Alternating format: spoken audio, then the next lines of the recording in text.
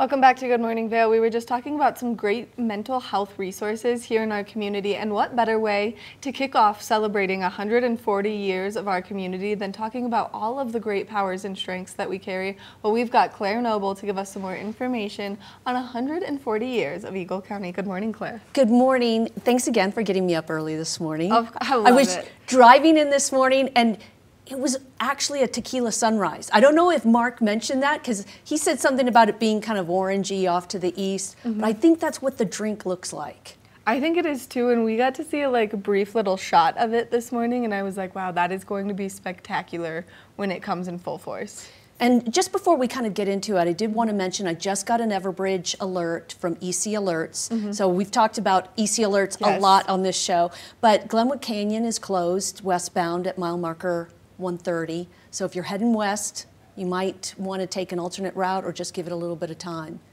See, these are good things to know. And really quickly, if people do not know what EC alerts are and they're traveling, maybe visiting our town, but they're kind of wondering what's going to happen on that I 70 corridor eastbound as they're trying to make their way home and we're in this winter weather advisory, how can they sign up for EC alerts? Visit ecalert.org and you can sign up. And then you're going to need to download the Everbridge app to your phone, and you'll get all of these alerts for different kinds of uh, traffic issues like Plat Pass closes, or there's an accident in Frisco, or Dowd Junction, or wherever. You're going to get an alert.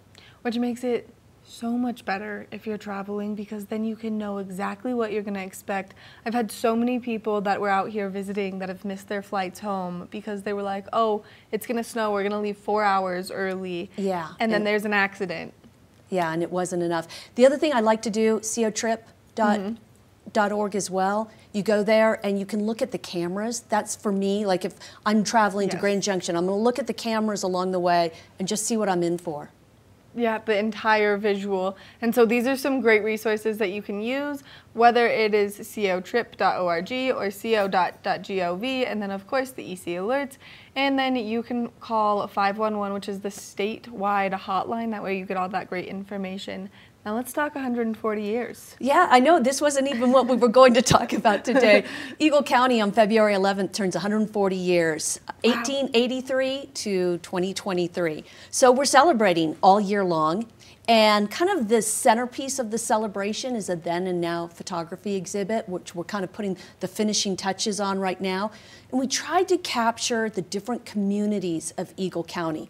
Right. And so I think if people come see this exhibit, and it's going to kick off at Colorado Mountain College on February 8th, and then it's going to travel around the valley. So then the next month it'll be at the Eagle Public Library, and then it'll be at the Vail Public Library in April, and a few other libraries around the valley. And I'm actually going to try to have it at the rodeo for anybody who's going to be visiting the rodeo. If you didn't get over to one of the libraries, you'll be able to see it there.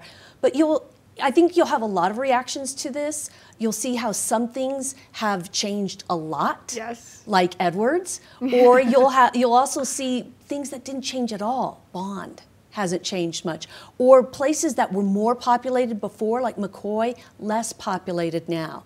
Um, so I think that'll be kind of the fun thing about the exhibit. What changed? What stayed the same? What things are always the same? There's a great photo of the one-room schoolhouse in Avon, and we've recreated that photo with Avon Elementary today. Wow. See, I think those are always so cool when you get to see the progression of like where it started and where it is now. And I just think that this is going to be such a unique experience, especially because so many of these pictures are 35 millimeter camera or a more challenging camera to shoot on.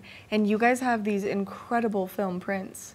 Yeah, thanks for even mentioning that. We've got a great photographer, Dylan Brown, who's been taking all the now photos for us and putting them together in a side by side. Now, this picture, um, we couldn't recreate this one, so we're Right. using it in our advertising. You've probably seen this photo before, but that's Minturn. That was the Minturn Roundhouse, and this train lurched and went right through the wall. And now people showed up to take their photos with it.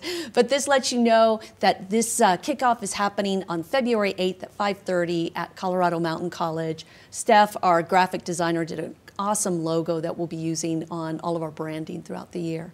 Which that picture is just one of the many brief flashbacks on history that you can look on because you go and you walk the Minturn Railroad and you can see, you can like physically see all of these pieces of history on it, like the big boulders and everything. So it's so fascinating. Thanks, yeah, thanks for bringing that up because that also reminds me. If you think about how much we've changed in 140 years, you go back to 1883. What were the industries of Eagle County? You had railroads you had mining, ranching, sheep herding, agriculture, and there's a little bit of that remaining, but for the most part, we've completely changed to real estate, outdoor recreation, that kind of that kind of industry.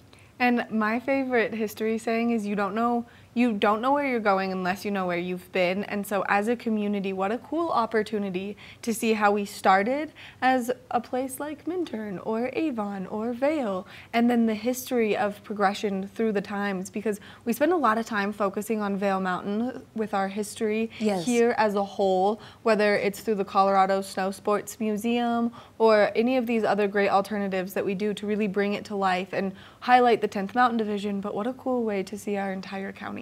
Yeah, you know, and the thing about the Skiing and Snow Sport Museum is this is great information. It's more near history, and right. so this exhibit's going to delve a little bit more into our more distant history. And why they call it Beaver Creek. Like, that's such a cool piece of history. And why do they call it Beaver Creek? Because there were so many trappers up there, mm. and that creek was so like frequent with the beavers that you could trap them up there super easy to avoid them eating the lettuce. So I'm glad you brought up the trappers because another thing we're doing as part of this celebration is we're making coloring books for kids oh, based on these, not these photos, but photos from our archive of people. So the, the then and now exhibit really tends to be landscapes and buildings, right. but the coloring book is the colorful people of Eagle County, the old-timey skiers, the cowboys, the farmers, the fishermen that lived up here. And we, you know, can't wait to get this finished and get it distributed to the kids of Eagle County.